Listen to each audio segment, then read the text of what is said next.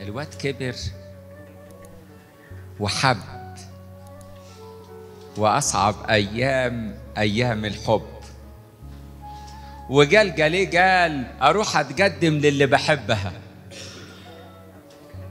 فهيروح يقابل حماة أبو السنيورة اللي بيحبها. وطبعا لما هيروح يقابل حماة حماة هيعمل له مقياس ليه هيقيسه. هيقول له تعالى لي معاك شهادة إيه؟ خريج جامعة إيه؟ معاك شقة ولا فيلا؟ ولو شقة إيجار ولا تمليك؟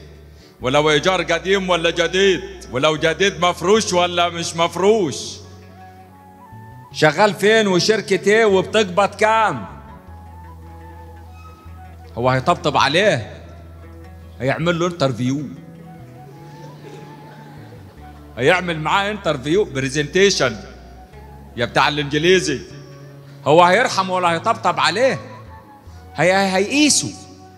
هيكون عاوز يعرف يناسب ولا ما يناسبش. ومقياس العريس اليومين دول مقياس وحش قوي. كنا زمان أبويا يسأل لما يجي واحد يتقدم لأختي يسأل هو راجل تمام ولا لأ؟ لكن دلوقتي بيشوفوه يعني يوزنوا فلوس. العريس ليه مقياس. ولما تجي الست هانم تكون عايزة تعمل دايت. فتطلع على الميزان فيطلع 67 كيلو. تقعد ثلاث شهور ماشية على نظام. وبعد الثلاث 90 يوم يخلصوا. تطلع كمان على الميزان يطلع 66 ونص يعني خست نص كيلو. فتعرف إنه ده نظام مش نافع معاها فقاست نجاح الدايت من خلال الميزان. ولما أقول لك تعالى معايا يا أخي نروح الأقصر عند الأنبا يوسف هنقول وعظة. تعالى معايا مشوار. تقول لي لا يا أبونا معلش ده 700 كيلو وعشر ساعات بالسيارة. قست المشوار بالكيلو وبالساعة بالوقت. ولو رحت الست هانم علشان تقدم في شغل جديد يروح يقعدوها مع حاجة اسمها الاتش ار عارفين الاتش ار تقعد مع الاتش ار يعمل مقياس للذكاء ولسرعة البديهة وللذاكرة وللوعي. ويبص في الورق الشهادات اللي جايباه والكورسات وللخبرة وآخر مرتب وصلت له كام؟ ليها مقياس. كل حاجة في الدنيا يا حبايبي ليها مقياس. ده لما تروح تشتري جزمة يقول لك عايزها مقاس كام؟ كل حاجة ليها في الدنيا دي اللي إحنا ربنا وجدنا فيها ليها مقياس. بدليل ينفع تعمل عيد ميلادك من غير ما تكون قست كم سنة عشتهم وتيجي تحط ال 35 ويقولوا لك يفرحوا بيك.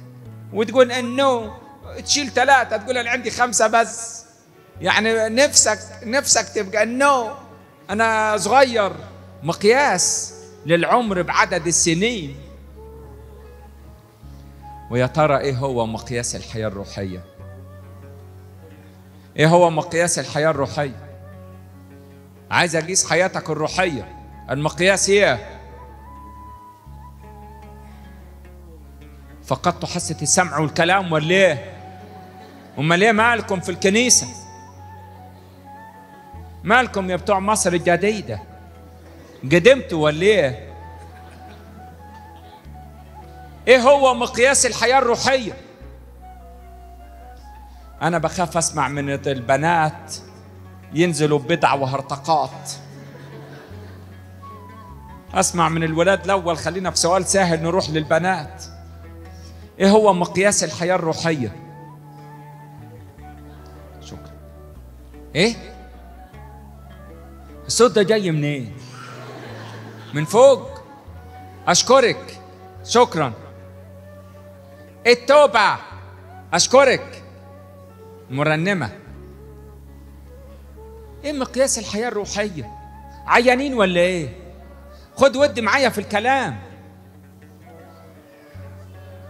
يا حبايبي مقياس الحياة الروحية التغيير والنمو للإنسان مننا في النور. عمرك يا غالية نجيتي رز في الضلمة؟ ولا لما تيجي تفلي الواد تعرفوش أنتوا يعني تفلي الواد. يعني لما تيجي تدققي مش بت عايزة نور. أنا عايز أعرف نفسي. هو أنا بتغير ولا ما بتغيرش؟ ولما بتغير هو أنا بنمو ولا لأ؟ يبقى لازم إيه؟ في النور. طب إيه هو النور؟ جاوبوا يا بنات إيه هو النور؟ ما هو النور الحقيقة الذي يضيء لكل إنسان آتيا إلى العالم؟ من هو؟ المسيح. السيد المسيح هو النور. هو اللي بس اللي قال إيه؟ أنا هو نور العالم. ومن يتبعني لا يسلك في الظلمة بل يحيا في النور. انت تعرف إنه أنا هو نور العالم دي ما ينفعش أي حد يقولها غير ربنا يسوع المسيح بس؟ يعني إحنا لو رحنا لواحد من العلماء ولا المفكرين ولا الجماعة التجال جو دول ورجال الأعمال نجيب مين؟ نجيب مين في نظرنا حلو اليومين دول مثلا؟ الأستاذ الدكتور مجدي يعقوب مثلا؟ نجيب نجيب نجيب محفوظ. ونجيب نجيب محفوظ كده هو الراجل الحلو قوي ده البلد كلها بتشهد له. ونجيب نجيب محفوظ ونجيبه هنا. تقول لي رايح فين يا أبونا؟ أقول أنا هنقدم الراجل. نقول لكم جايب لكم نجيب محفوظ عشان هنديله الجائزه العالية. يا أستاذ البيل الشاعر الكبير ال- الكاتب المفكر نجيب محفوظ. أنا عارف نقول إيه ولا إيه قبل ما نقول اسمه. آه، آه، تقول لنا كلمة للناس. عارفين لو مسك الميكروفون. وقال أنا هو نور العالم. صدق ناخده من هنا على السرايا الصفراء على طول على العباسية. لأنه ده مش كلام ناس. اللي يقول أنا هو نور العالم لازم يبقى إيه؟ ربنا. وإحنا إلهنا إله نور. قال أنا هو نور العالم. والقديس يوحنا يقول عنه إيه؟ نخبركم ما سمعناه نخبركم به. إن الله نور وليس فيه ظلم البتة. يبقى الله إيه يا حبايبي؟ نور. أول ما أقول مين هو الله تقول لي الله نور. بولس الرسول لما جه وقف قدام الملك اغرباس في آه، أعمال الرسل 26 نلاقيها الحدوتة دي. وقف قدام الملك اغرباس وقال له أنا سعيد إني واقف قدامك علشان أحتاج أقول لك على اللي بي بي بيحكموني بيه اليهود فضل يقول له كلام كتير فجي قال له حتة كمان كده بعد 10 12 آية يقول له وأنا مسافر لدمشق. في وسط النهار رأيت نورا من السماء أفضل من لمعان الشمس. فسجدنا أنا والذين معي. الكل سجد في الأرض. وصوت خافت يقول لي شاول شاول لماذا تضطهدني؟ فقال من أنت يا رب؟ من أنت يا رب؟ فقال له أنا يسوع المسيح الذي أنت. يبقى ربنا يسوع المسيح لما ظهر لشاول كان عبارة عن إيه؟ نور. ربنا يسوع المسيح لما ظهر لشاول كان عبارة عن إيه؟ نور. ما تقول معايا نور؟ أصل ده ربنا ربنا نور. وربنا لما ظهر لشاول كان عبارة عن إيه؟ نور. وربنا النور يقول أنتم نور العالم. يا عم الله يخليك بس استهدى بالله كده وفهمني. هو مين نور العالم؟ ربنا اللي قال أنا هو نور العالم ولا أنتم نور العالم؟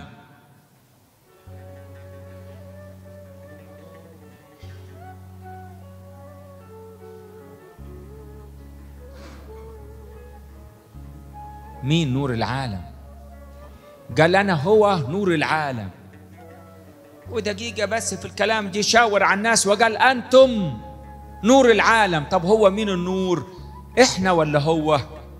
يقول النور هو المسيح. وإحنا بننور منه. بنورك يا رب نعاين النور. عارفين القمر؟ جسم معتم. الشمس تطلع تضرب فيه النور فالقمر ينور.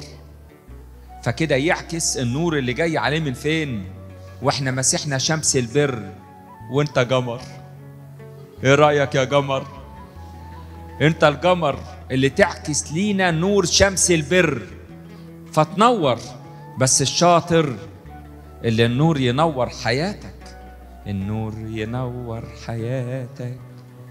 نور المسيح العجيب ويغسلك من ذنوبك. يسوع بدم الصليب ويغسلك من ذنوبك. يسوع بدم الصليب اهرب من الدنيا حالا. واسمع لقول الكتاب. اهرب من الدنيا حالا. واسمع لقول الكتاب. باطل أهول ومر وعذاب النور ينور حياتك نور المسيح العجيب ويغسلك من ذنوبك. يسوع بدم الصليب ويغسلك من ذنوبك. يسوع بدم إبليس بيخدع ضميرك. إبليس بيخدع عينيك. إبليس بيخدع ضميرك.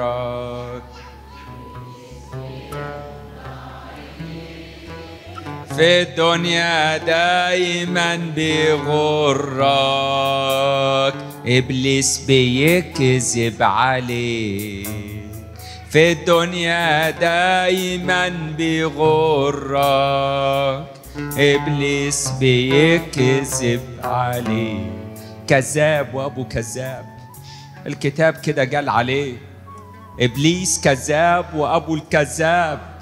مع كل مرة يضحك عليك يحطك في الضلمة. كذاب وأبو الكذاب وماشي يكذب علينا ليل ونهار وبيعلي صوته علينا ويكذب علينا وإحنا بنضحك علينا وبنسمع لكلام الكذاب. نيجي الكنيسة الكنيسة تقول يا ناس الشيطان كذاب. وإحنا نسمع كلام الكذاب. عايز تتبسط؟ أيوه خد اشرب دي. تشرب. على أساس إنك هتتبسط تشيل الطين. وتلاقي نفسك ما اتبسطتش. كداب الزغطت أيوه نزغطت تعال نروح الحنة بتاعت عمو فلان عامل حنه لولده. هنقعد بقى قاعدة انما اللي هي. تعال بس نروح وآخر الليل تقلب بعركة. وتبقى أول المضروبين وواخد على جفاك وتلاقي نفسك يا عيني كان نفسك تتبسط ما اتبسطتش كان نفسي. كذاب أبو الكذاب يغرقنا ويحطنا في ضلمة. والضلمة هي غياب النور. والنور هو المسيح. يبقى الضلمه هي غياب المسيح. أي مكان ما فيهوش المسيح يبقى ضلمه لأنه المسيح هو النور. يبقى راحت عليا العيشة الهنية. المسيح قال لي سيروا في النور ما دام لكم. مين عايز هنا يعيش في النور؟ الباقي اتشل مش قادر يرفع ايده. في حد هنا عايز يعيش في النور؟ ولا من كتر الوجع مش قادر يرفع ايده؟ نفسنا نعيش في النور. طب المسيح بيقول سيروا في النور. واللي يدور على النور يلاقي النور في الكتاب المقدس. سراج لرجل كلامك ونور لسبيلي. خبأت كلامك في قلبي لكي لا أخطئ إليك. لتكن هذه الكلمات التي أوصيك بها اليوم على قلبك. قصها على أولادك. تكلم بها حينما تمشي في الطريق وحينما تجلس في بيتك. وحينما تنام وحينما تقوم واربطها على يديك واربطها. عصابة كده اعصبها كده هو قدام عينيك قدام عينيا كلمة ربنا حية وفعالة وأمضى من كل سيف ذو حدين. قال لك فقط عيشوا كما يحق لإنجيل المسيح لأنه ليس بالخبز وحده يحيا الإنسان بل بكل كلمة تخرج من فم الله. الكتاب المقدس يا أحبائي بتاعنا هو الدستور اللي نمشي عليه. مش البلد فيها دستور وقانون ولا إيه؟ أيوه طبعا. الدستور بتاع البلد نمشي عليه في البلد. والدستور بتاعنا بتاع الكنيسة دخلنا الملكوت. الكتاب المقدس والقوانين والوصايا بتاعت ربنا تدخلنا الملكوت وتدخلنا الحياة الأبدية للي عايز. للي عايز يعيش في النور يجي للدستور بتاع الكتاب المقدس اصلك دستور الدولة لو أنت هتمشي عليه. يعني مثلا لو في الدستور بتاع الدولة جت قانون من القوانين بتاع دستور الدولة يقول إيه؟ يقول هنقنن بيوت الدعارة ونعمل لها رخصة. واللي يدخل في بيت الدعارة يدفع اشتراك تذكرة. هتمشي مع الهيصين انت وتروح تقطع التذكرة وتيجي داخل. أبونا أنا رايح بيت الدعارة يا أبونا. يا ابني انت أنا ماشي قانوني يا أبونا. ودافع الاشتراك ورايح بيت دعاره مرخص. آه أنا مش غلطان. أنا ماشي زي الدولة ما بتقول. أنا بعمل أهو الدولة اللي قالت لي ده قانون آه، دستوري في نازل في دستور الدولة. قانون الدولة وقانون العالم لأهل العالم يا حبيبي. لكن انت تمشي على كلمة الله. كلمة الله طب لما تيجي تقلب كده في كلمة الله وتطلع رسالة غلط يا بولس الرسول جاي ليه؟ وأعمال الجسد ظاهرة. التي هي؟ زنا عهارة نجاسة دعارة. وأمثال من يفعل تلك الأمور لن يرث ملكوت الله. يبقى لما أرجع للدستور بتاع ربنا ألاقي ان الدعارة اللي يوقع في الدعارة يعمل إيه؟ لن يرث ملكوت الله. يبقى ما يلزمنيش. ما ينفعنيش أنا بدستور الدولة ده أمشي بس على قوانين المرور. يقول لك قدامك منحنى خطر قدامك مطب قدامك نسمع الكلام وخلاص علشان الدستور ال- ال- المروري عشان نخلي بالنا. لكن لو ربنا نعم عليك وسافرت بره هتلاقي الدستور بتاع بره خراب أكتر. خد بالك اللي نفسك تسافر بره بره خراب خليك جوه يا عم. هو مين اللي قال إن إحنا جوه وهم بره وهم فوق ويقول لك أنا نازل مصر؟ إشمعنى في نزوله وإحنا تحت؟ مش عارف. بس يعني ه- على حسب ما طلعنا وقالوا لنا. طب أقول لك على اللي بره الدستور الدولة بره الدول الأوروبية في دول منهم الدستور بيقنن المثلية الجنسية. بالرغم إنه ده ضد الطبيعة البشرية. ده منذ البدء خلقهما ذكرا وأنثى. لذلك يترك الرجل أباه وأمه ويلتصق بامرأته ويصير الاثنان جسدا وما جمع الله لا يفرقه. النهارده في الدول بره بيفرقوا الشيطان. الشيطان اللي اللي عمل لنفسه علم. عمل لنفسه علم المثلية وحطوه على المنارات. ده شيطان بيتكلم في لسان الناس. عشان ما يظهرش يخضنا بيكلمنا في لسان الناس وحطوا العلم وقالوا يا مثلية يا جنسية طب وإحنا مالنا؟ إحنا ده الدستور ده مش بتاعنا. إحنا ما يلزمناش الكلام ده. طب آه، هتمشي على الدستور بتاع العالم وبتاع الناس. مالك أنت؟ هتنور أنت. أنت تنور أنت. وما في نور يجي لك بره الكتاب المقدس. به نحيا ونتحرك ونوجد. كل واحد من اللي قاعدين طبعا جواه في مخه شوية أسئلة. وعايز يسأل أبونا السجاير حرام؟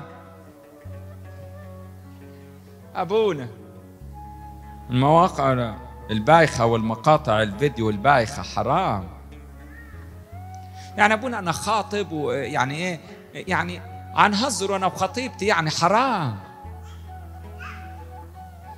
يعني يا أبونا طيب الوقت اللي بقضيه على النت حرام.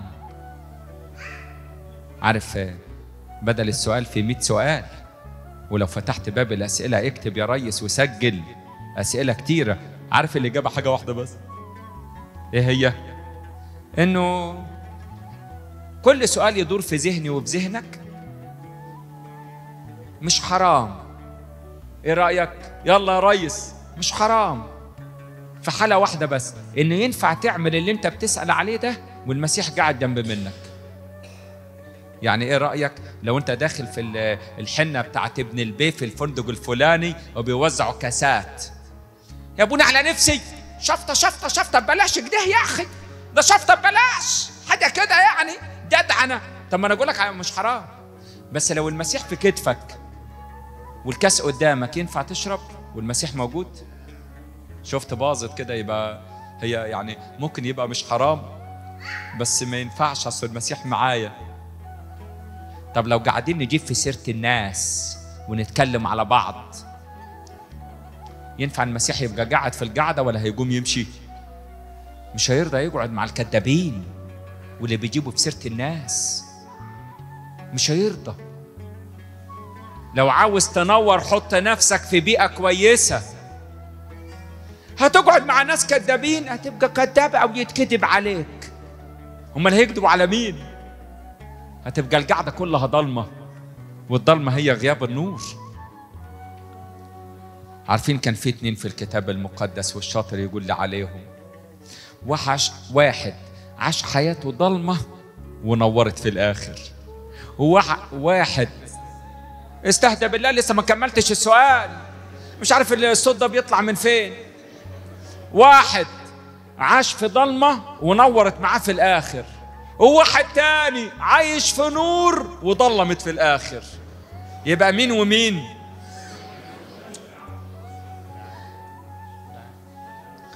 حد من الخدام يساعدني يقول بيقولوا إيه؟ مش سامع برضو؟ ده مش أنا هفكر عيان. ده طلع على الكل. مين يا حبايبي اللي كان منور وضلمت واللي كانت مضلمه ونورت؟ مين؟ اتفضل. أيوه. أشكرك إجابة خاطئة. اتفضل. اسم الصليب عليك. اسم الصليب اسم الصليب يا رب لك المجد. دي نفس الإجابة بتاعت أخويا اللي قلت له غلط. أنا آسف. دي نفس الإجابة مع حقك عليا باسم الصليب اسم الصليب. أنت معانا؟ المهم إنك إيه يا ما صدقني بتقول نفس الإجابة. يا رب لك المجد. هو أخويا اللي قال غلط اللص اليمين ويهوذا. يعني الإجابة دي خاطئة يا جماعة ما تقولوهاش. حد يجاوب كده بقى؟ بالعم ابن بعور؟ لا ولا هو ولا حمارته. علي صوتك. شاول؟ غلط. الأنبا موسى يا فينك من بدري؟ كلامك غلط. مين؟ مين؟ الغني والعذر في لغة 16 إجابة خاطئة. مين؟ اتفضلي قولي للي قدامك واللي قدامك يقول اللي قدامك لحد الصوت ما يوصل. اتفضلي آه نرميه مين؟ غلط برضه ما سمعتكيش بس غلط. اتفضل الله! هو مين هنا اللي مسؤول عن الاجتماع؟ مين أبو دومه صح كده يا مينا؟ مش انت المسؤول يا ابني؟ صح؟ بعد إذنك يا ابني ادي مكافأة للراجل اللي قال مولود اعمى ده ادي له مكافأة. مين حضرتك؟ جوزيف؟ ادي له مكافأة يا ابني شجعه. قال المولود اعمى ودي إجابة سليمة صحيحة في يوحنا تسعة. ده عاش من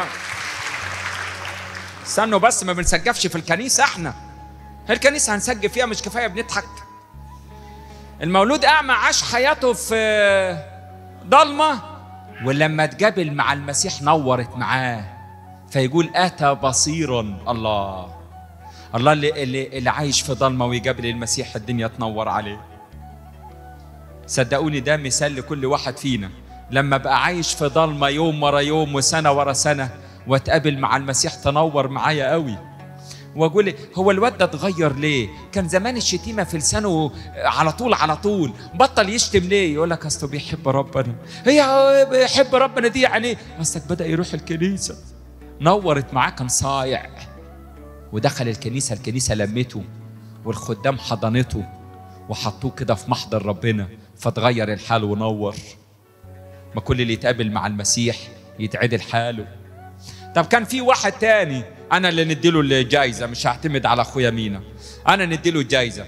كان في واحد تاني كانت منورة معاه تمام التمام وجت في الآخر ضلمت خالص وباظت.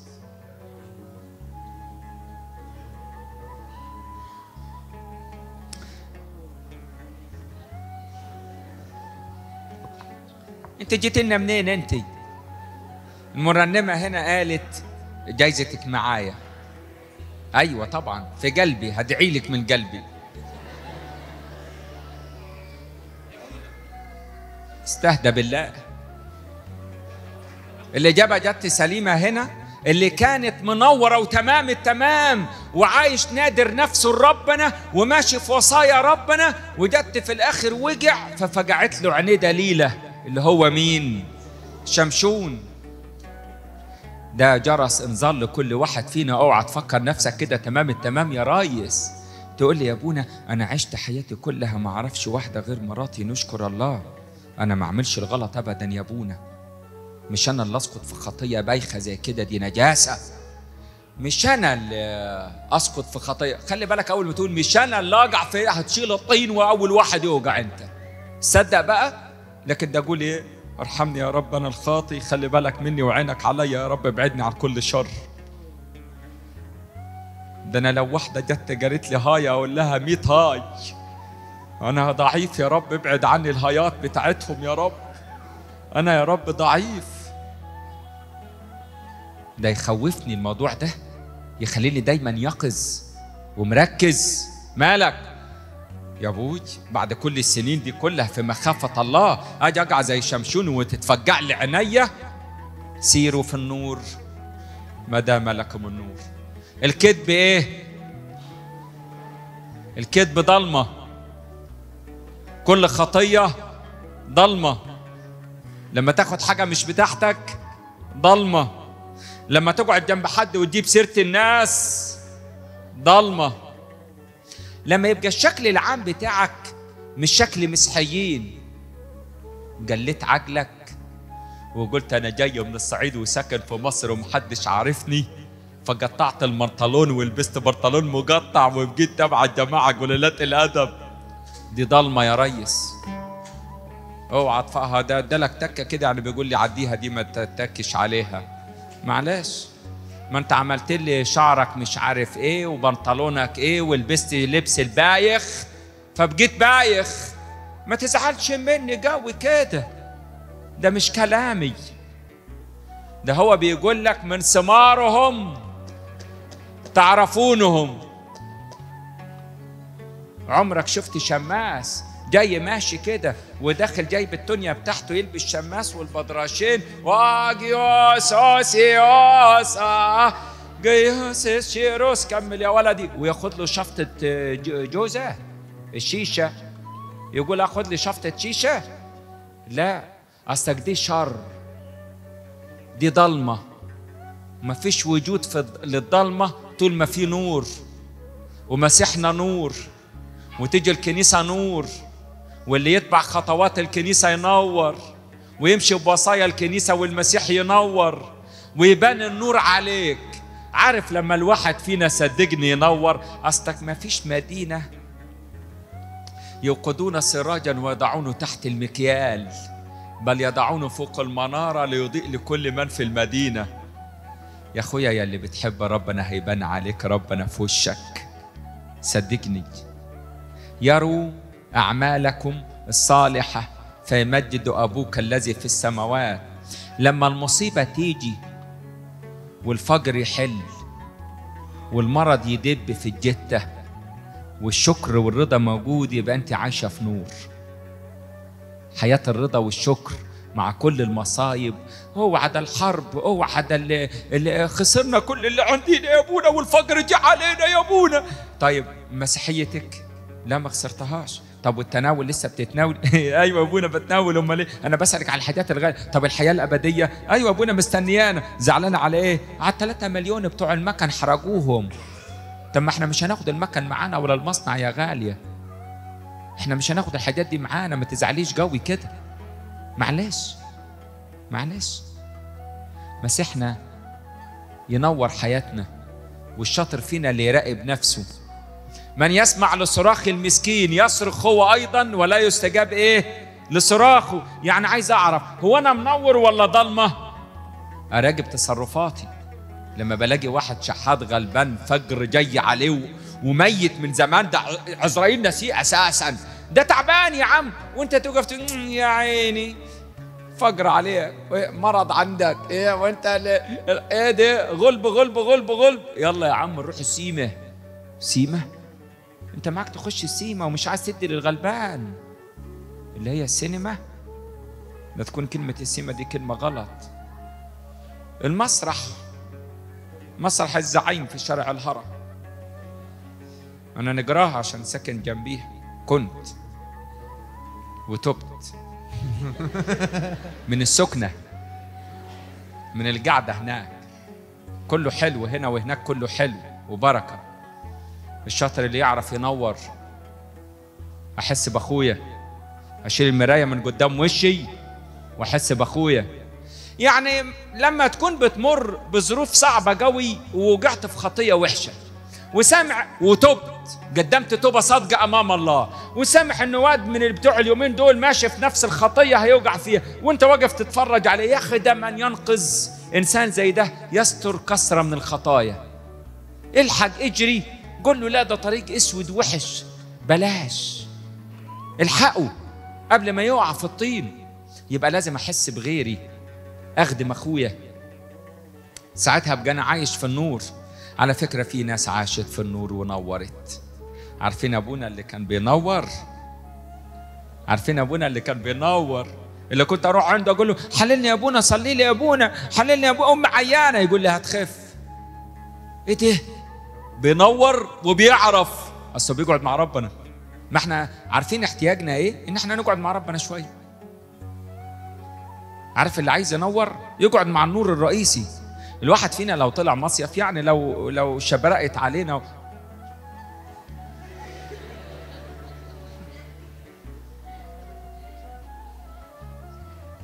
لو لو مشيت معانا يعني وطلعت مصيف عارف لو قعدت هناك أسبوع هترجع أسمراني.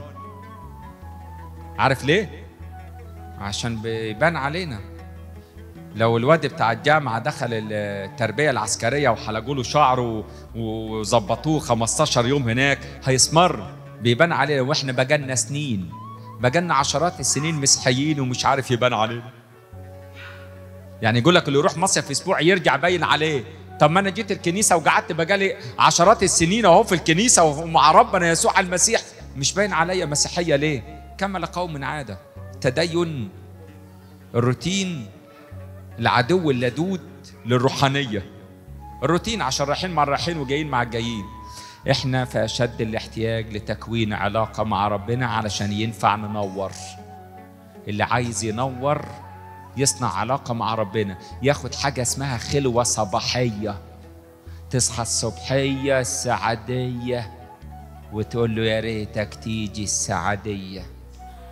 نسيني ألام البرية ونجام العالم عليا أنا ليسوع في الخلوة الصباحية. تدخل كده ليسوع المسيح ربنا مخلصنا الصالح يسوع المسيح وتقعد معاه في خلوة صباحية. تفتح الكتاب تقرأ تقول تشوف هو عايز يقول لك إيه النهارده وأنت تقف قدامه وتقول له اللي عايز تقوله له النهارده. مع حتة ترنيمة صغنططة كده على السريع. أبونا طيب أنا دلوقتي يعني ربنا رب قلوب مش لازم آخد الخلوة دي. هو عارف إن أنا بحبه وخلاص يعني كده الترجمة العملية للقلب الصالح هو قلب نقي بيقف قدام ربنا. دي ترجمة عملية. لما تبقى نايم على ظهرك وحاطط رجل على رجلي وندخل عليك الترجمة العملية لاحترامك ليا. نزل رجلك ولم نفسك يا أخي. ما تعدل نفسك كده يا أخي. صح ولا إيه؟ أنا نقف قدام ربنا ملك الملوك لابس شرط ده كلام ده. ده كلام.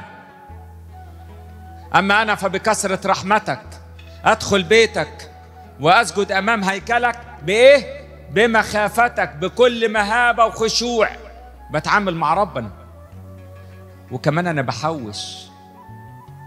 لما تقف قدام ربنا وركبك وجعك وتعبان وخلاص على آخرك والمفروض إنك أنت تنام لأنك أخدت يوم شغل وشجا تعبان ورحت مش عارف مصلحة تخلص ورق ورجعت تعبان على آخرك. وتيجي واقف قدام ربنا ورجليك وجعك كده ورافع ايديك قدام ربنا. بتحوش. على رأي الانبا كراس قال لك حوش. حوش على قد ما تقدر. وجع ركب. حوش آيات قولها علشان لسانك يت... يتنقى ويتقدس. حوش ترانيم وقاعدة في محضر الله. عارف ليه بتحوش؟ علشان تنور. مش إحنا جايين ندور إزاي ننور؟ وكلنا عايزين ننور. اقعد مع النور تنور. تقول له بنورك يا رب نعاين النور. لكن كان علي أنا نقدرش الحالي هو أنا نقدر. يا ريتني كنت نقدر كان زماني من زمان قديس. لو القداسة بالساهل. ده القداسه عايزة قاعدة مع ربنا. قد إيه؟ كل يوم. كل يوم. أيوه قاعد مع ربنا. طب ما يا ريس ما أنت بتاكل كل يوم. عارف لو حسبوا لي كمية الأكل اللي أكلتها من يوم ما اتولدت لحد النهارده ده تكفي بلد. ده تكفي جيش. شوف أكلنا قد إيه يا راجل. امسك بند واحد رغيف العيش. يا أبوي ده كتر خير مصر إنها موجودة لغاية دلوقتي. ده أنا مخلص. ده بناكل أكل يا راجل إيه ده؟ تعال شوف إحنا الكنيسه الصغيره الضيقة دي 500 واحد مثلا. شوف النهارده بس أكلنا كام رغيف. يا رب ليك المجد. ده الحمد لله إنه لسه الناس عايشة. ده ده عايزين فرن لنفسنا لوحدينا كده فرن شغالة بتطلع في عيش. آه. تخيل. دايرة وشغالة. طب والقعدة مع ربنا ليه مش دايرة وشغالة؟ أوعى تفكر ربنا في الكنيسة بس. ده اينما وجدت في كل مكان. حد في الكنيسة نفسه ينور؟ كلنا. وإن كان كلنا كغنم ضللنا فملناش طريق يرجعنا غير ربنا يسوع المسيح. ساعتها ننور. نقعد معاه زي ما موسى قعد معاه أربعين يوم رجع من الجبل وشه منور فلبسوه برجع عشان يعرفوا يتعاملوا معاه. إحنا محتاجين للنور ده. النور ينور حياتكم. يفتح البصيرة. لأننا نحن نعلم إن ابن الإنسان قد جاء وأعطانا بصيرة. الناس بتشوف الأشياء إحنا نرى ما لا يرى. نرى يد الله في الأحداث. لذلك تزيد جوانا المخافة. فنحيا في مخافة الله. فيبدأ النور يهل علينا وننور ونبقى منورين. ربنا ينور الطريق قدامنا كلنا وينور حياتكم ويحميكم لإلهنا كل كرامة ومجد من الآن وللأبد آمين.